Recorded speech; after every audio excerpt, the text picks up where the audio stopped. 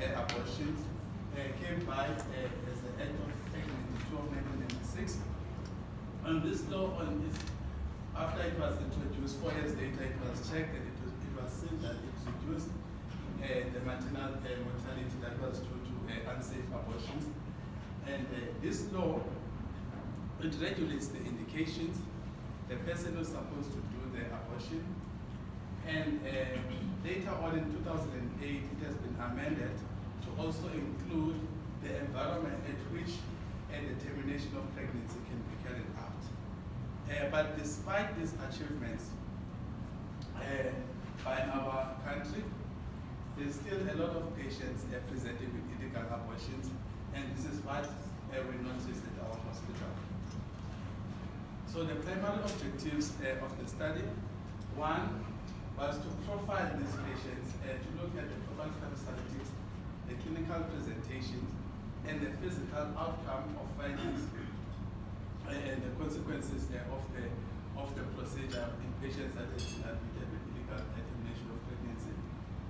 And uh, the second objective was to make recommendations to both the public and to the authorities about how can we reduce uh, illegal termination of pregnancy and their uh, adverse uh, consequences.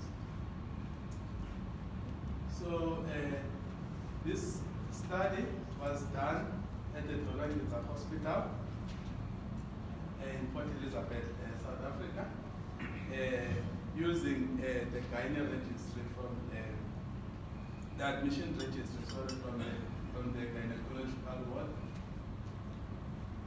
It was a retrospective, uh, quantitative, uh, descriptive study. And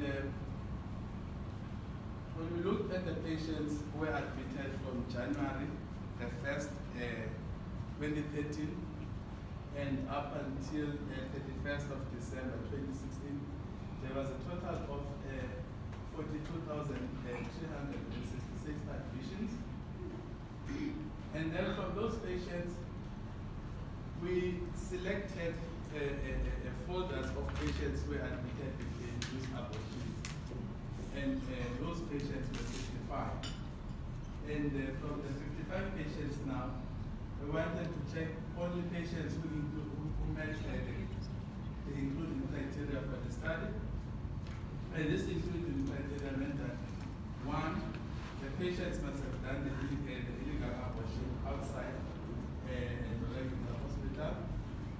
And number two, the patients must have admitted personally having done the abortion. There must be evidence in the notes of the patient, of the patient actually telling the clinician that uh, I did this, I got uh, the, the abortion agent from this place and like that and like that. So only uh, 33 patients now could be included uh, from the 55 patients that we had uh, initially.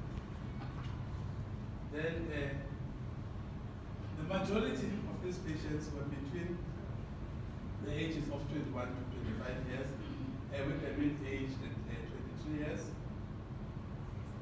And uh,